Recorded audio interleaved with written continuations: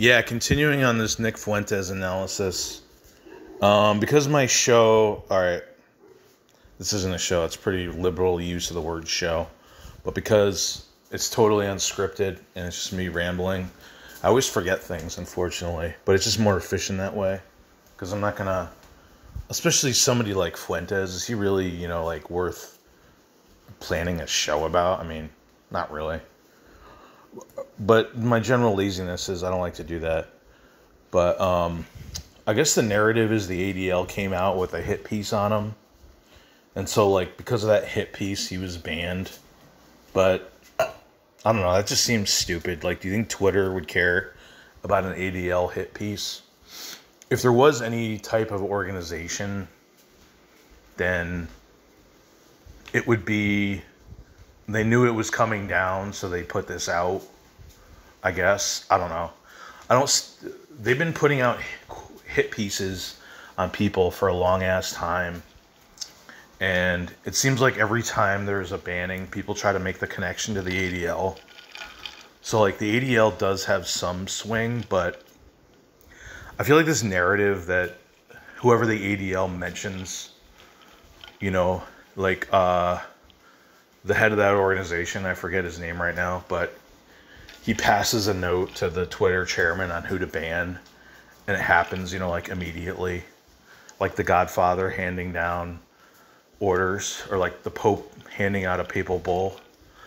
Uh, I just think that's fucking a stupid narrative that people have made up. I think the ADL does have a certain amount of power, but it's within the realm of leftist activists that are are pushing for voices like Fuentes or more extreme voices than than him to be banned from platforms. I think Facebook, Twitter, their higher priority is running a successful business model, but also they want to avoid you know a lot of hate a lot of outrage a lot of uh, people that are angry so in for my view is they get pulled almost at least partially kicking and screaming to ban voices like Fuentes or even Holocaust deniers, which took a while.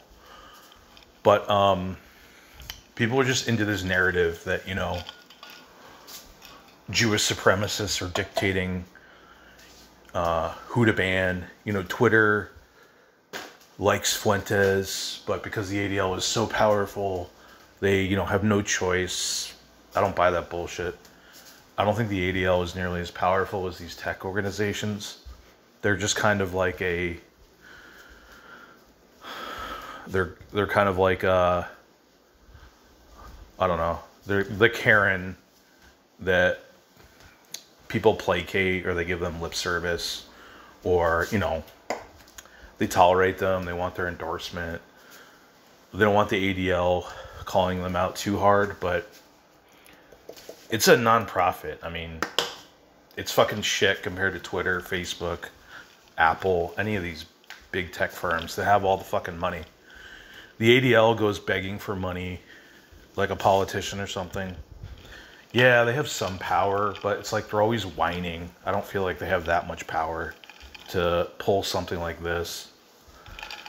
Um, but people are people are just into this narrative. They uh, they don't like the narrative that you know somebody like Fuentes. Um, it's not just. I guess they're into this narrative like, oh, he's a popular, patriotic American, and you know the usurpers because they're threatened by his movement had to usurp him and um, what do you call it undermine him or subvert him uh, whereas the real truth is, there's a lot of fucking people that don't like the guy, think he's toxic, don't want anything to do with him. Um, the ADL isn't forcing people to hate the guy.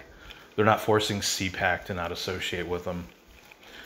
It's kind of like the same argument that, um, you know, nobody really likes Israel. It's just uh, AIPAC like sends out their goons to force Congress people to support Israel uh, is as opposed to the reality or what I believe the reality is is that a lot of people support Israel.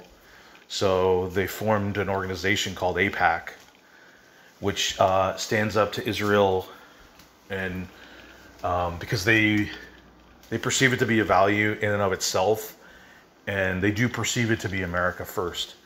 So again, they're getting cause and effect um, disorganized and uh, reversed in my mind. AIPAC exists because there's a lot of support in America for Israel.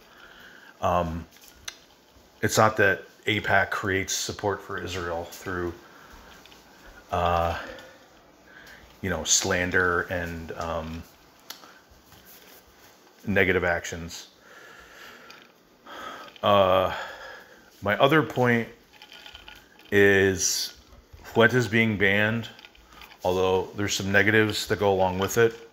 The biggest benefiters, the biggest benefactors are going to be disgruntled young white American men who won't come across him, be pulled into his toxic movement, and you know change their avatars to frogs and be posting frog memes, and uh, trying to disrupt Q and A sessions with. Uh, I forget the all the people's names that they do that to, but instead of doing useless fucking bullshit in his movement. You know what? Maybe they're going to do things like go out on dates and settle down and have children.